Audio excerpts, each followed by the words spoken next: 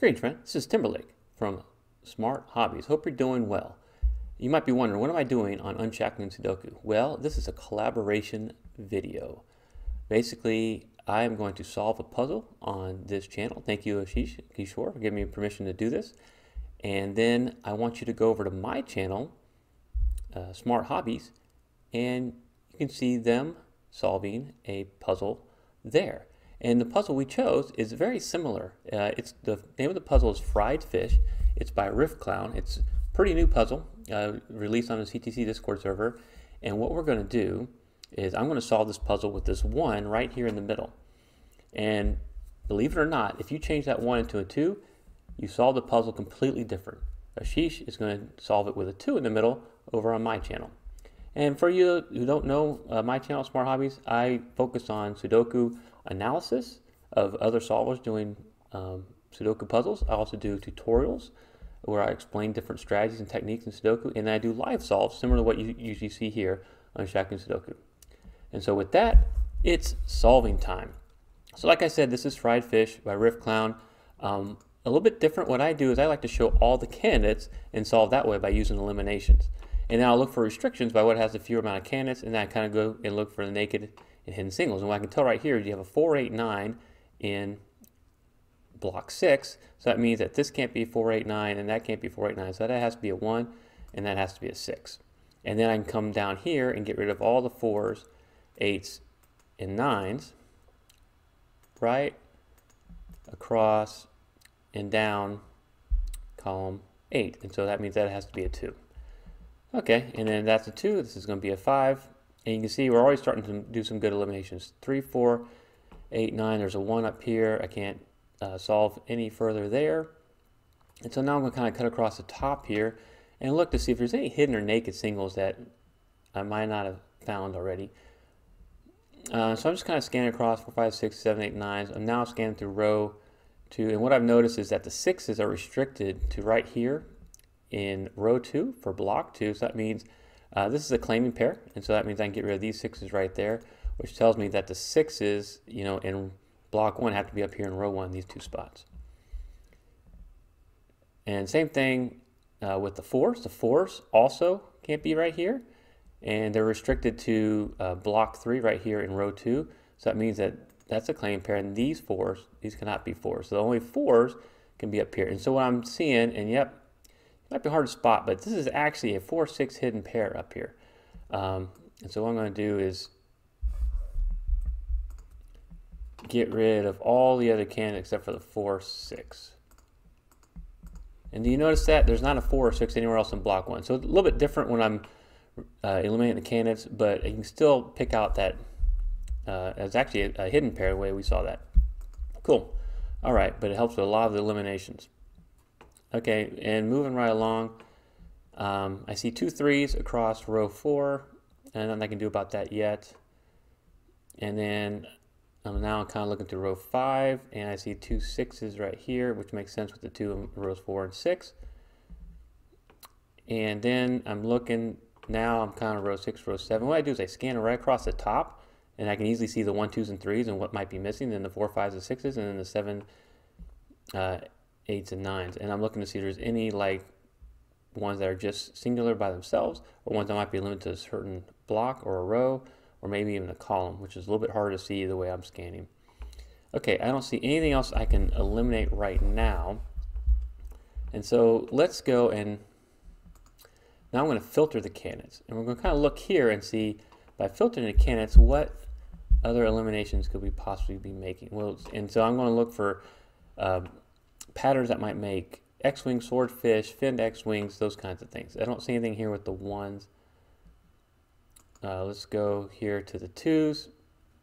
Not seeing anything yet uh, with the twos. Let's go to the threes. Uh, we got some interesting uh, it's kind of interesting the way that the, you know I see a lot of what I call strong links. So there's only two of a candidate. So like there's only two threes and two sevens here in column A, but there's only two threes here as well. And I'm going to look over here and see if there's any type of like skyscrapers um, or uh, you know any, any, kind of X-wing type action or maybe in a swordfish. And I don't see that. The other thing I look for would be two-string kites, uh, turbot fish, they're also called. And I don't see any of that. Okay.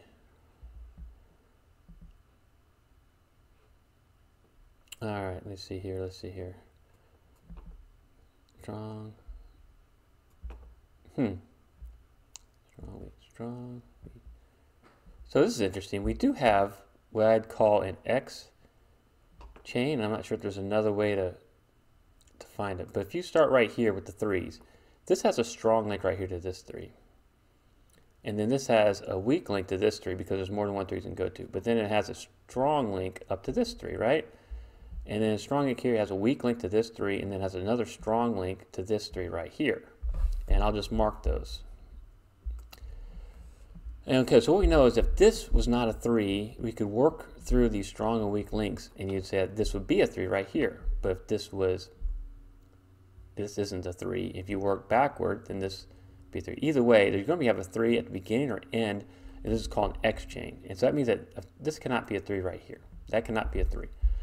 Um, because we know it's going to be three in one of those two orange spots. And we get rid of the coloring. And so that gives us, right here with the threes, now a pointing pair. So that means that we can eliminate this three right there. Interesting. Uh, yeah, I didn't expect to see an X chain, but there it is. Okay, let's go to the fours. And I kind of cleaned out the fours pretty nice. And by clean out, I mean I got rid of a lot of the extraneous um, uh, candidates. And looking at the fives, I don't see anything to do with the fives just yet. Let's go to the sixes. Okay, with the sixes you have right here, this is a pointing, a claiming pair of sixes actually, because the sixes can only be in block eight here in column five. So that means these can't be a six because the sixes are restricted to this two spots. You can see how they're they can't be in blocks two or five right there. All right, uh, moving on to the sevens, and feel like I have a similar situation what we saw with the threes, and I wonder if there's something we can do about that. Huh. Strong, weak, strong, weak, strong, and there is. All right, so I'm going to show you another X chain. And I'm wondering if it's, well, it, you could also see it as a finned uh, swordfish, believe it or not. So I'll, I'll show it as a swordfish. I think that might be a little bit more interesting to see.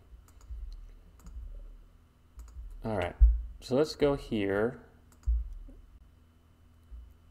Okay, so what you notice, uh, and this right here is our fin, is in these three rows, rows three, four, and eight, um, the sevens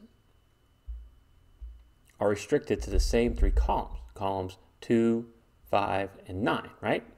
So that means uh, if you, you know, have the 7 like here, then the 7 would have to be, you know, there, there, there. And so you, the, the 7s are going to be restricted. They have to be in one of these, these purple spots. Except now you have this extra fin here. So if this fin is true as a 7, you can't have a 7 right here in this block. This is the block we care about. But if this 7 was false, you would have a swordfish. And in this swordfish situation, you wouldn't be able to have a 7 in any other spot in this column. So that wouldn't be a 7, that wouldn't be a 7, and this wouldn't be a 7. But since it's a fin, all we can deduce is right here that if the fin is true, this won't be a 7, and the fin is false, uh, this then we'd have a swordfish, and this still can't be a 7. So what we can do is we can eliminate the 7 right there uh, in either case. So that is a fin swordfish. And now I thought that was kind of neat to show that. And so let's get rid of this coloring. And now you notice is this is a pointing pair. And so you have, excuse me, you eliminate the 7 right here, which means this has to be a 7. Sorry for my, I clicked that the wrong way. I meant to say this is a 7. Uh, and now we're actually uh, you know, able to make another elimination, which is really cool. What else can I do with this? I don't see anything else I can do with the 7s. Move on to the 8s, and the 8s are pretty busy. Um, I'm looking through here and I want to see, and I don't see a lot of strong links where there's only two candidates, row, column, or block. Um, I don't see really other situations that I can take advantage of. I don't think we can eliminate really any of the eights right now. And then with the nines, um, similar situation. I don't see where we can really take advantage in lane the nines. But I look right here, 4, 7, 8, 9. If I had just a 4, 7, 8, 9 down here, that would be a naked quad. I don't have that. So let's, I'll briefly look here to X, Y. You know, this is just all the bivalue cells. And I'll see if any of these kind of connect together. And for the moment, they do not. And so I'm going to go back because solving the 7 right here might have created some more possibilities for us to kind of solve this puzzle.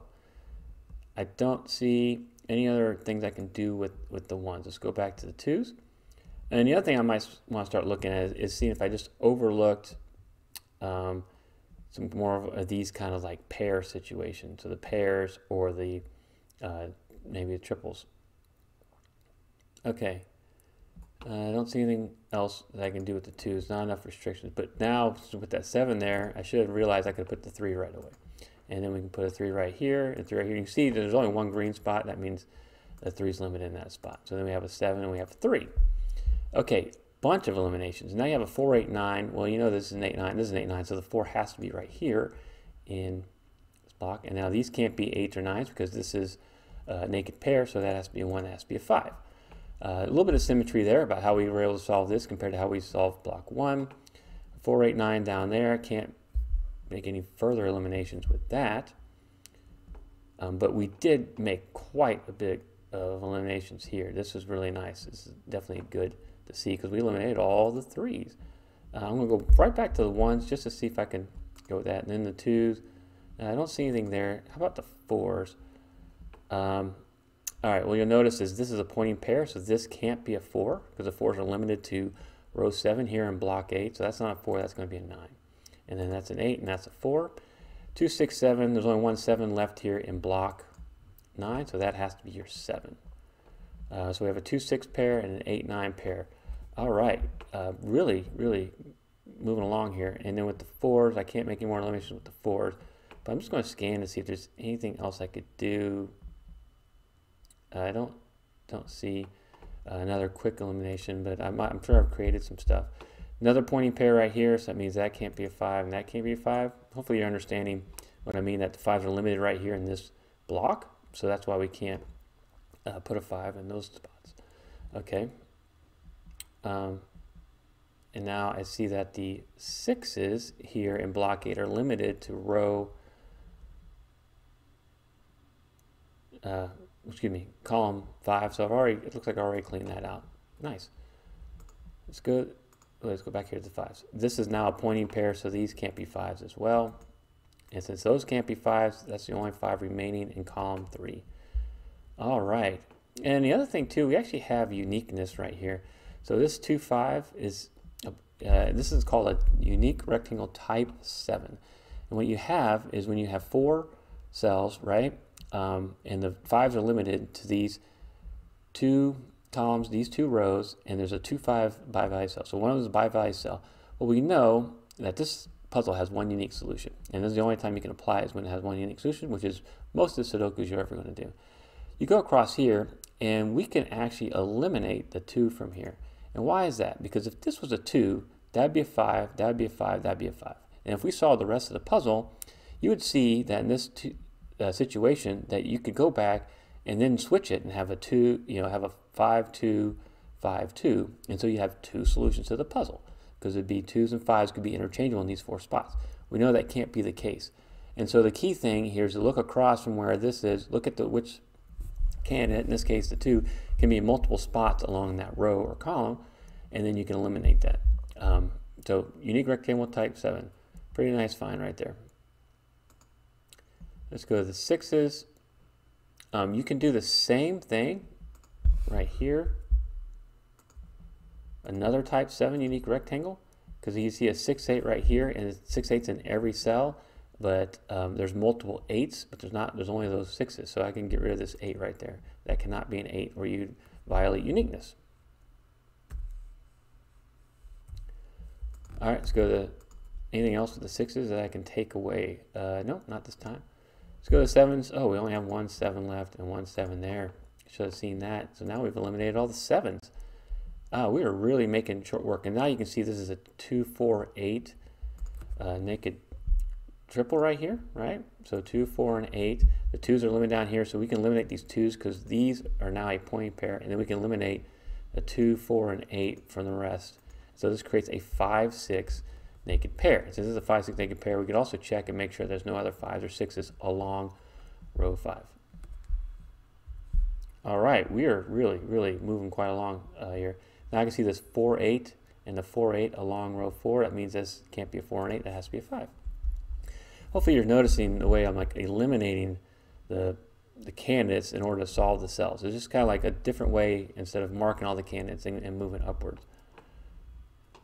We're really doing a great job here, getting pretty far along this puzzle. I think we're going to crack it soon. It's not quite cracked yet. Okay. Oh, that's a single solitary 8 and a 6, and 5, 6. Should have seen that. 2 and a 1, 9, 6, 2, 6. Okay. Well, I think I might have spoken just a little too soon here because we're getting real close to the end now. All right, let me get rid of this coloring. Because you can see now I'm just looking for where the naked singles are, right? There's only one candidate left. It's going to be a naked single. 1, 2, 8, 1, 2, 8, 9, uh, 8, 2, 4. I think we cracked this puzzle. Uh, 1, all right, 2, 8, 2, 8, 9, 8, 9. And you'll notice it's all naked singles from here. Well, what you think? Um, hopefully you enjoyed solving that puzzle along with me. If you tried it out, you can do the link below. Let me know what you did. If you tried a different method that solved this puzzle. Um, we used quite a few different things, some X chains, a fin swordfish, and you know then those uh, uh, unique rectangles, and that solved this one. I enjoyed this puzzle quite a bit, and like I said, please go check out my channel, Smart Hobbies. You want to see more solving like this? Uh, I'll put a link to my channel below in the description. Thank you again, Ashish Kishore. Uh, I really enjoy watching your channel. I'm a big subscriber, a big fan, and hopefully, uh, you know, I brought some more value to your channel by being on here. Please don't forget to check out uh, my channel, check out these other videos. In the meantime, thank you so much for watching.